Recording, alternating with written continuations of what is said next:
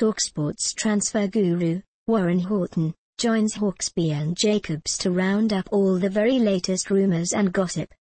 Our man in the know discusses Arsenal's pursuit of Sporting Lisbon midfielder William Carvalho and claims the Gunners are more keen on the Gunners youngster than Real Madrid's Sami Khedira.